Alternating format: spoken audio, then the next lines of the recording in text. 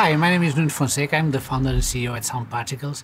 Uh, and our company essentially creates 3D audio software for the entertainment industry, for all major Hollywood studios. For instance, our products are using things like Game of Thrones, Star Wars, Dune, but also video game companies and also music uh, market.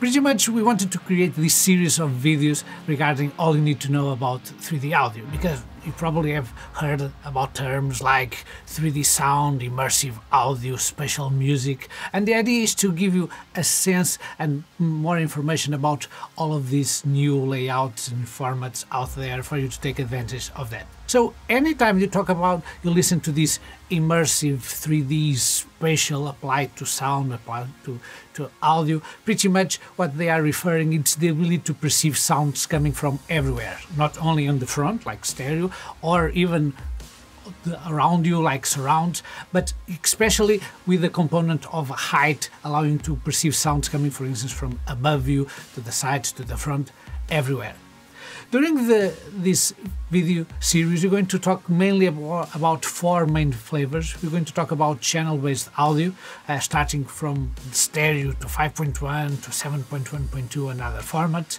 Then we're going to talk about object-based audio and formats like Dolby Atmos that you probably have heard before, but also talk about ambisonics, a crazy black kind of magic that some people uh, think it is. Uh, but also, we're going to talk about binaural, which means 3D sound over headphones. So, pretty much stay tuned with this adventure and all you need to know about 3D audio.